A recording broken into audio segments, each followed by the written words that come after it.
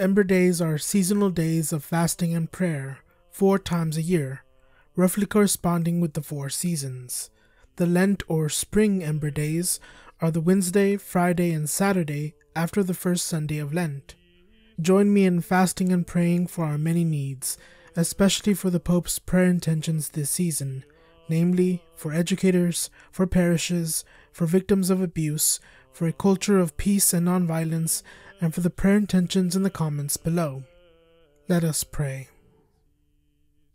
Almighty God, source of all goodness and love, hear the prayers of your people, and in your tender compassion, grant us all that is necessary for our physical and spiritual well being. Renew your church with a surge of holy priests. Strengthen the bond of unity between the faithful and your ministers together with Pope Francis and all bishops, that in a world torn by strife, your people may shine forth as a prophetic sign of unity and concord. Open our eyes to the needs of our brothers and sisters. Inspire in us words and actions to comfort those who labor and are burdened. Make us serve them truly after the example of Christ and at his command and may your church stand as a living witness to truth, freedom, peace, and justice, that all people may be raised up to a new hope. Through Christ our Lord. Amen.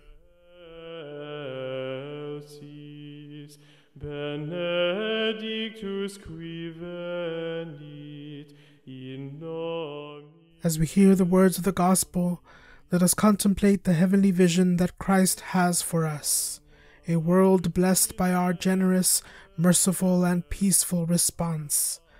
We are called to holiness. We are called to be like God our Father. Will we respond to this call? Let us hear the words of the Gospel according to Matthew.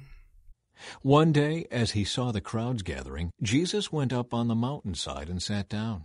His disciples gathered around him, and he began to teach them. God blesses those who are poor and realize their need for Him, for the kingdom of heaven is theirs. God blesses those who mourn, for they will be comforted. God blesses those who are humble, for they will inherit the whole earth. God blesses those who hunger and thirst for justice, for they will be satisfied. God blesses those who are merciful, for they will be shown mercy. God blesses those whose hearts are pure, for they will see God. God blesses those who work for peace, for they will be called the children of God. God blesses those who are persecuted for doing right, for the kingdom of heaven is theirs. God blesses you when people mock you and persecute you and lie about you and say all sorts of evil things against you because you are my followers. Be happy about it. Be very glad, for a great reward awaits you in heaven. And remember, the ancient prophets were persecuted in the same way. You are the salt of the earth. But what good is salt if it has lost its flavor? Can you make it salty again? It will be thrown out and trampled underfoot as worthless. You are the light of the world, like a city on a hilltop that cannot be hidden. No one lights a lamp and then puts it under a basket. Instead, a lamp is placed on a stand where it gives light to everyone in the house. In the same way, let your good deeds shine out for all to see, so that everyone will praise your heavenly Father. You have heard the law that says, Love your neighbor and hate your enemy. But I say, Love your enemies. Pray for those who persecute you. In that way, you will be acting as true children of your Father in heaven. For he gives his sunlight to both the evil and the good, and he sends rain on the just and the unjust alike. If you love only those who love you, what reward is there for that? Even corrupt tax collectors do that much. If you are kind only to your friends, how are you different from anyone else? Even pagans do that.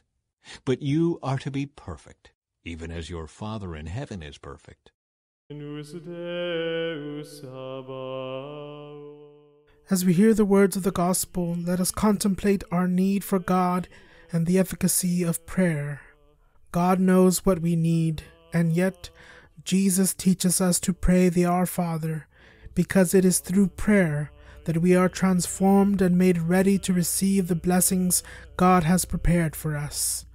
Let us hear the words of the gospel according to Matthew. Watch out. Don't do your good deeds publicly to be admired by others, for you will lose the reward from your Father in heaven. When you give to someone in need, don't do as the hypocrites do, blowing trumpets in the synagogues and streets to call attention to their acts of charity. I tell you the truth, they have received all the reward they will ever get. When you give to someone in need, don't let your left hand know what your right hand is doing. Give your gifts in private, and your Father who sees everything will reward you. When you pray, don't be like the hypocrites who love to pray publicly on street corners and in the synagogues where everyone can see them. I tell you the truth, that is all the reward they will ever get. But when you pray, go away by yourself, shut the door behind you, and pray to your Father in private. Then your Father who sees everything will reward you. When you pray, don't babble on and on as people of other religions do. They think their prayers are answered merely by repeating their words again and again. Don't be like them, for your Father knows exactly what you need even before you ask Him. Pray like this Our Father in heaven, may your name be kept holy. May your kingdom come soon. May your will be done on earth as it is in heaven. Give us today the food we need, and forgive us our sins, as we have forgiven those who sin against us. And don't let us yield to temptation, but rescue us from the evil one. If you forgive those who sin against you, your heavenly Father will forgive you. But if you refuse to forgive others, your Father will not forgive your sins. And when you fast, don't make it obvious, as the hypocrites do, for they try to look miserable and disheveled, so people will admire them for their fasting. I tell you the truth, that is the only reward they will ever get. But when you fast, comb your hair and wash your face. Then no one will notice that you are fasting, except your Father, who knows what you do in private. And your Father, who sees everything, will reward you. As we hear the words of the gospel, let us contemplate how judgment belongs to the Lord who sees perfectly. In our culture, we are so quick to judge and condemn others, arrogantly overlooking our own shortcomings. When we stand before the throne of God, will we want Him to judge us and condemn us as harshly as we judge and condemn others? Let us hear the words of the gospel according to Matthew. Do not judge others, and you will not be judged. For you will be treated as you treat others. The standard you use in judging is the standard by which you will be judged. And why worry about a speck in your friend's eye when you have a log in your own? How can you think of saying to your friend, Let me help you get rid of that speck in your eye, when you can't see past the log in your own eye. Hypocrite, first get rid of the log in your own eye, then you will see well enough to deal with the speck in your friend's eye. Don't waste what is holy on people who are unholy. Don't throw your pearls to pigs. They will trample the pearls, then turn and attack you. Keep on asking, and you will receive what you ask for. Keep on seeking, and you will find. Keep on knocking, and the door will be open to you. For everyone who asks receives. Everyone who seeks finds. And to everyone who knocks, the door will be opened. You parents, if your children ask for a loaf of bread, do you give them a stone instead? Or if they ask for a fish, do you give them a snake? Of course not. So if you sinful people know how to give good gifts to your children, how much more will your heavenly Father give good gifts to those who ask him? Do to others whatever you would like them to do to you. This is the essence of all that is taught in the law and the prophets.